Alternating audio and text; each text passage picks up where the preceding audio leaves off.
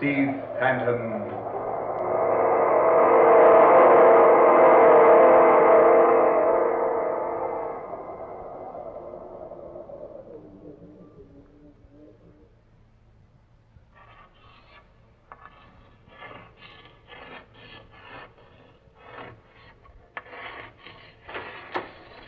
I say, sir. And what be you doing in the captain's cabin? Do you hear me, sir? What be you doing a sitting there writing on the captain's slate? Oh, ignoring me, eh? Now look here, you. This is Captain Strong's own cabin, and no one's got any business of sitting here a writing. I, I say, you're not a member of this crew. Float me down. Your, why, your face. Look at you. Why, you're not human. Captain! Captain Strong! Captain!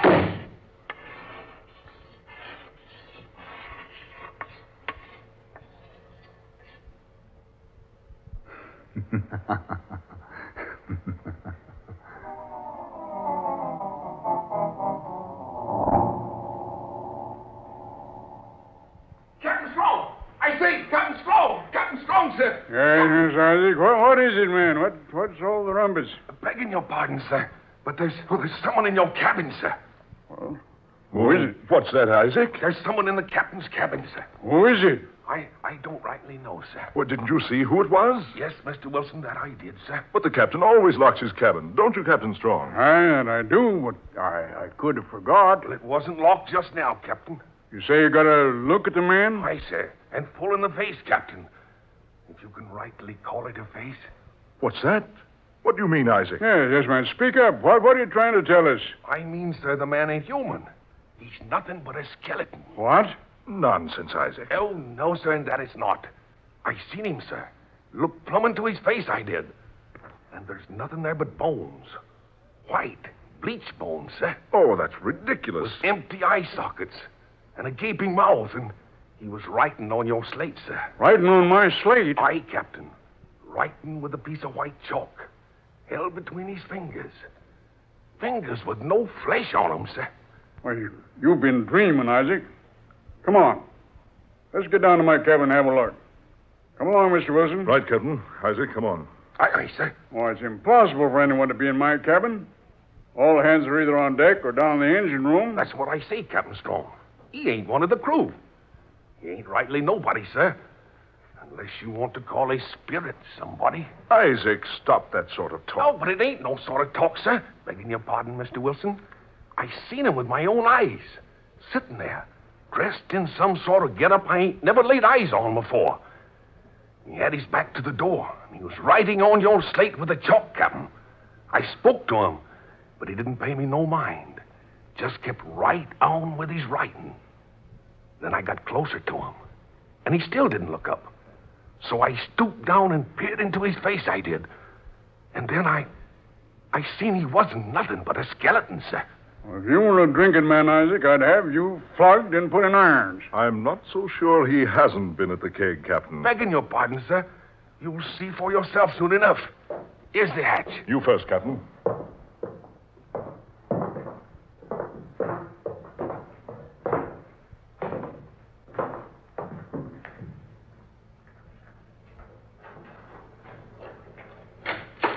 Just as I thought.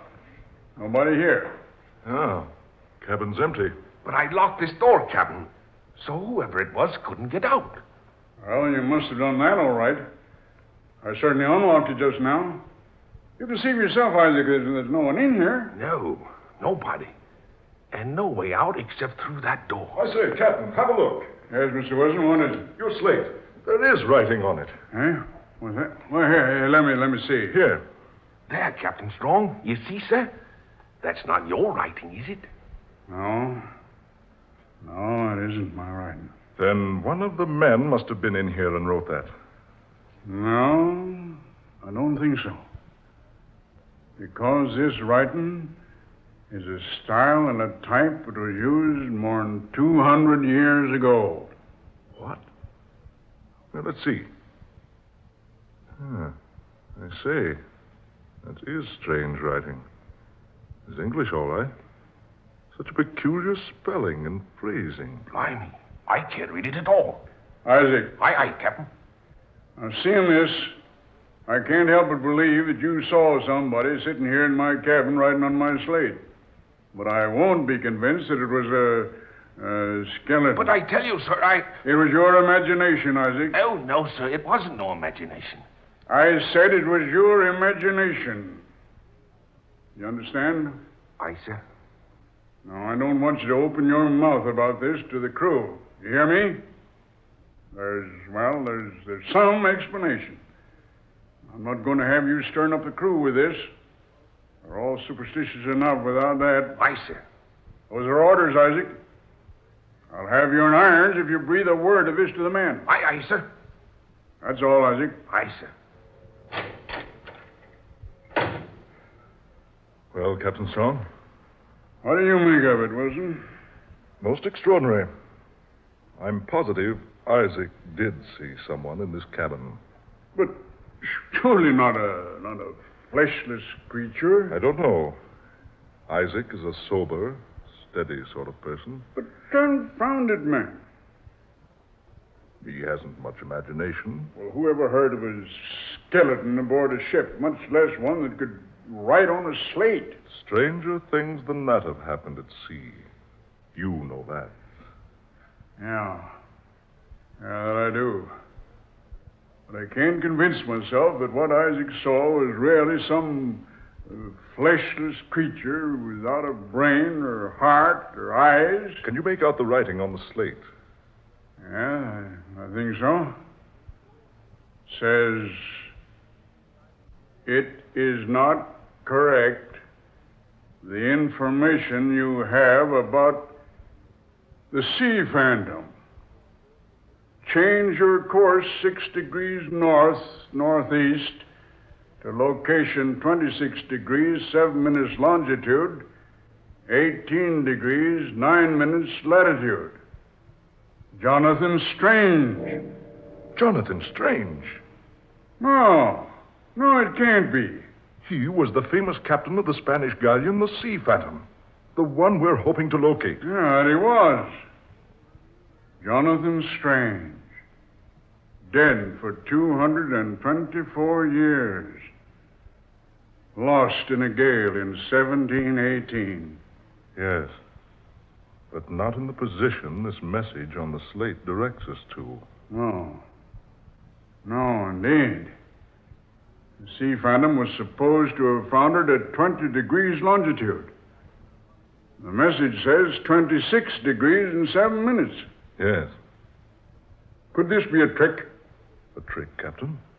Someone else who's heard of the immense treasure that went down with the Sea Phantom. Someone who's trying to steer us off our course.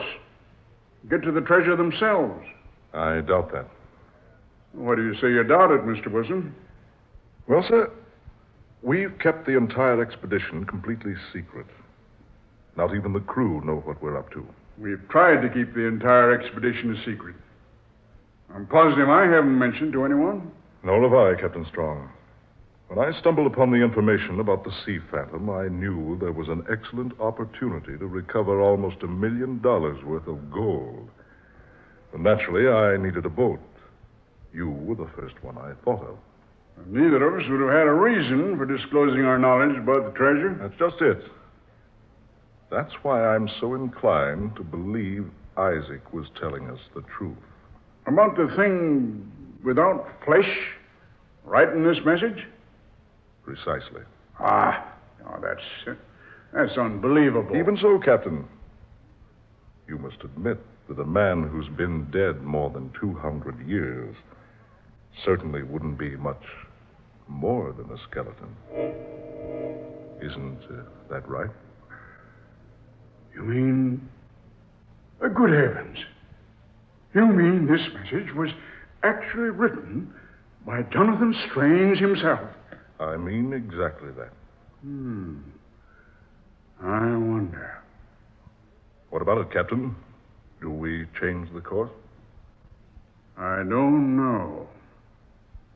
What's your advice? Normally, I'm not superstitious. But, well, what can we do? I've never believed in ghosts or spirits up to now. But that message on that slate certainly is convincing. Then you're in favor of following the instructions. Well, Mr. Wilson? Yes. Let's change the course and go to the spot the message mentions. If you're willing to take a chance, I certainly am.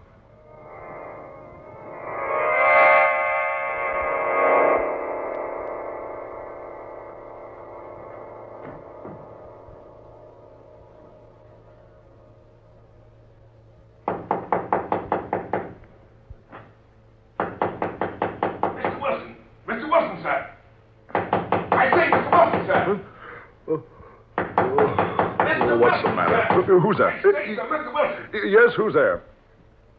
Me, sir, Isaac Newton, sir. Well, come in and stop that noise.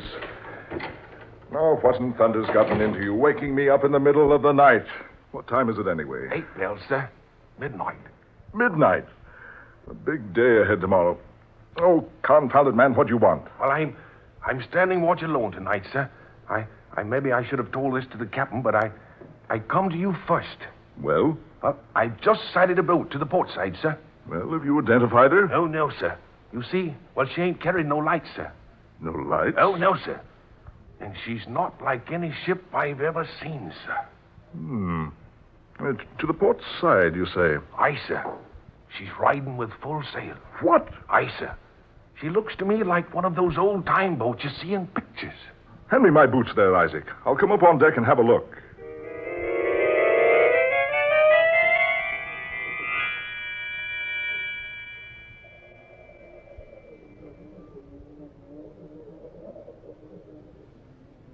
There she blows, sir. You see? Not a sign of life aboard her, sir. And the moon's full tonight. Look, man, look. What, Mr. Wilson? That name on the bow. I can't see that far, sir. My eyes are... That name. The Sea Phantom. Sea Phantom, sir? Yes. No wonder she's carrying no lights. No wonder there's no one aboard. What do you mean, sir? Isaac, if you've never seen a ghost ship, take a look at that boat out there. Ghost ship? Yes. The Sea Phantom went down in these waters more than 200 years ago. Blow me down, sir. Are you having a joke with me, Mr. Wilson? No. No, this is no joke. That's a ghost ship, right enough. You watch. She'll be gone in a minute or two. Uh, begging your pardon, sir. But that boat's real. Ghost ships always look real, Isaac. But look you, sir. She's close enough to see. She's within throwing distance, I do believe. Here. This belaying pin here, Mr. Wilson. I, I'll try to throw it aboard the Sea Phantom. Good. You watch. That pin will just go through thin air. We'll see, sir. Well, here goes. Ah. There, sir. You hear that? She is real. But that boat's so old, she should have fallen apart years ago. And besides that, she's supposed to be at the bottom of the Atlantic. She looks old enough, all right, sir. But I don't understand what you mean about her supposed to be. Isaac. Aye, sir. Lower a boat. A boat, sir. Yes, confounded a boat. Lower one at once. Are we going aboard the Sea Phantom, Mr. Wilson? I am, yes. Now lower a boat to the port side and double quick about it. Stop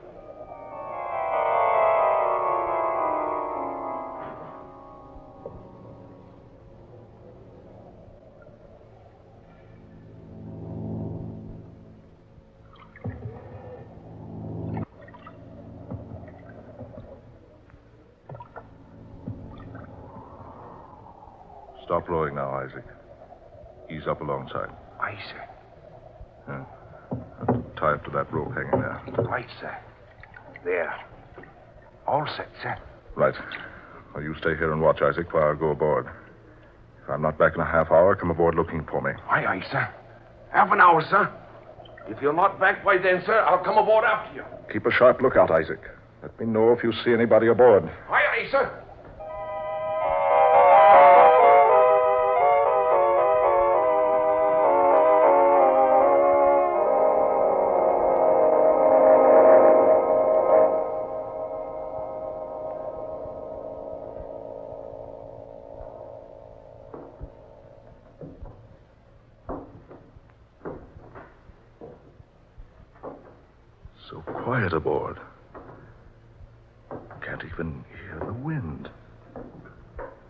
Sign of life. No sign of life having been here for score upon score of years. Rotting timbers. Sea soaked deck. Twisted, tangled ropes. Empty kegs with rusted hoops and warped staves. Strips of time worn sails. And canvas swaying on the masts. Everything's so, so quiet. Quiet as though in reverence for the dead. Uh, here, the hatch. Captain's quarters must be down here.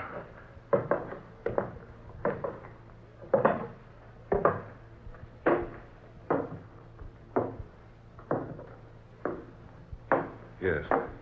Yes. This must have been his hangout. Let's have a look. Hmm. A light burning in here. Hey, say, what's that? Oh. Bones. An entire human skeleton slumped here in the corner of the cabin. As though a man had propped himself up there and died. Exactly, my friend. Who's that? Did someone speak? Certainly me. But oh, where are you? Over here. But I, I don't see you. There's no one in this room but myself. Yourself and that gentleman slumped there in the corner. Who are you?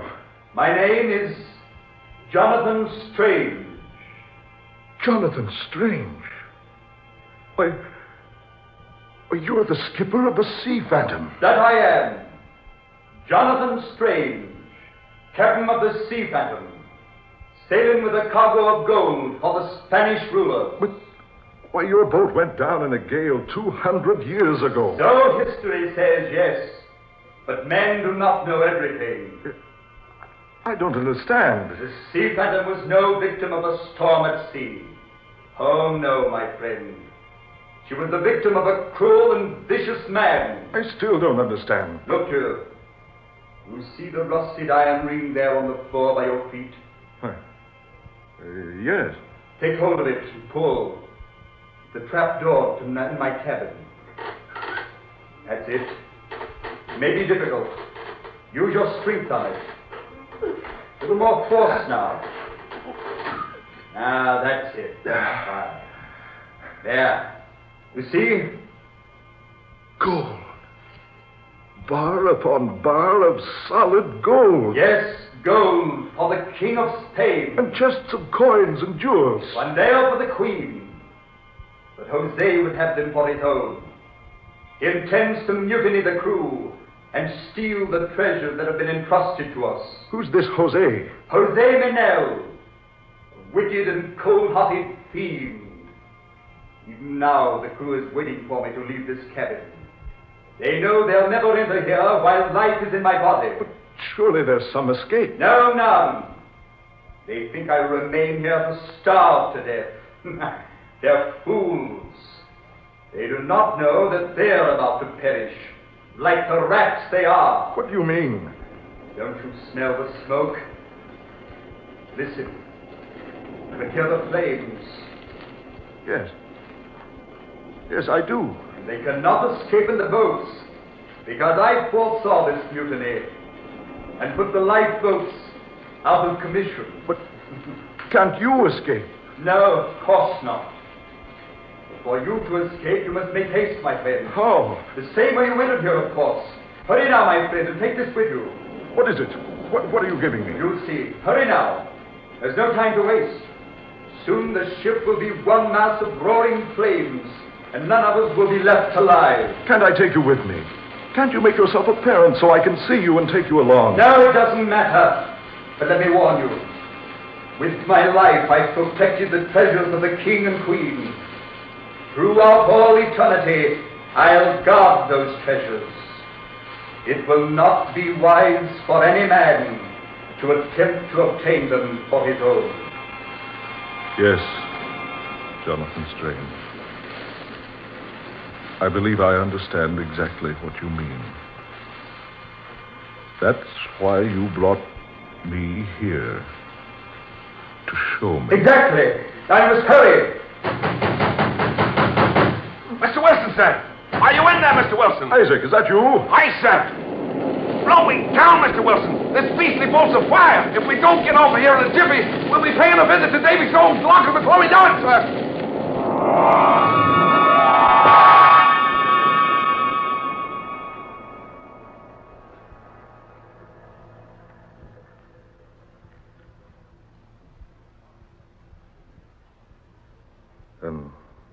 So, Captain Strong, that's exactly what happened.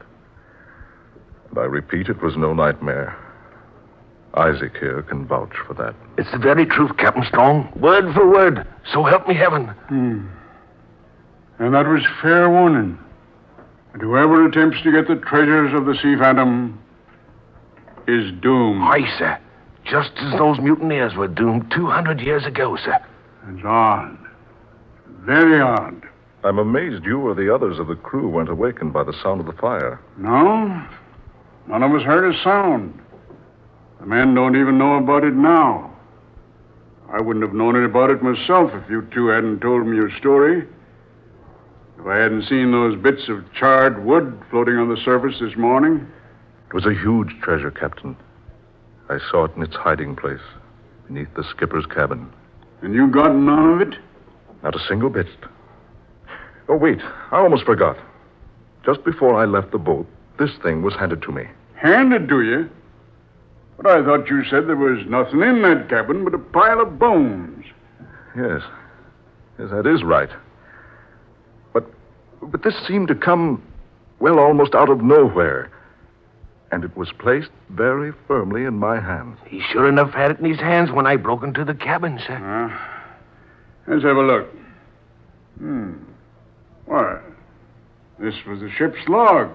The log? Yes. The complete log of the Sea Phantom's voyage. From the date of sailing right on up through the mutiny. Look. This writing. It's the same hand. The writing on my slate and the writing on this paper are the very same. Curve for curve, angle for angle. Here, let me see. I say, Captain, Yes, Mr. Wilson. look here. On this last page. It reads Now that it has become my solemn duty to protect the treasures which have been entrusted to me, I will send the sea phantom to her ocean grave together with the treasure. This is my course as I see it. God assist me. Jonathan Strange, May 29th, 1718.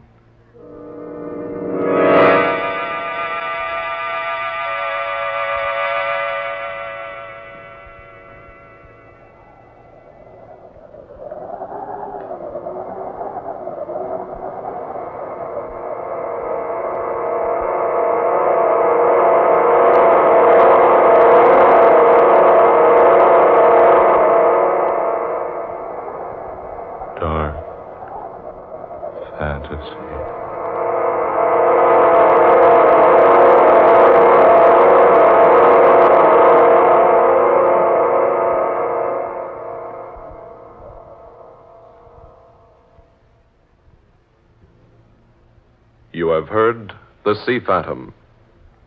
Tonight's tale of dark fantasy by Scott Bishop. Ben Morris was heard tonight as Mr. Wilson. Fred Wayne played Captain Strong. Muir Height was Isaac, and Garland Moss was Captain Jonathan Strange, skipper of the Sea Phantom. Next Friday at this time, we'll bring you another dark fantasy drama being the 13th story in this series, and next Friday being Friday the 13th, Scott Bishop defies superstition utterly and completely to bring you one of his most exciting and unusual tales. Listen for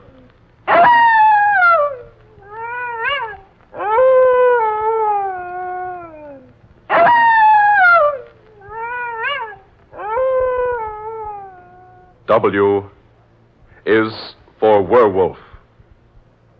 A weird adventure laid upon a sunny tropical island where all seems peaceful and serene, but where a grim and vicious destiny festers slowly into breathtaking, unbelievable reality. Dark Fantasy originates each Friday night in the WKY studios, Oklahoma City. Tom Paxton speaking. This is the National Broadcasting Company.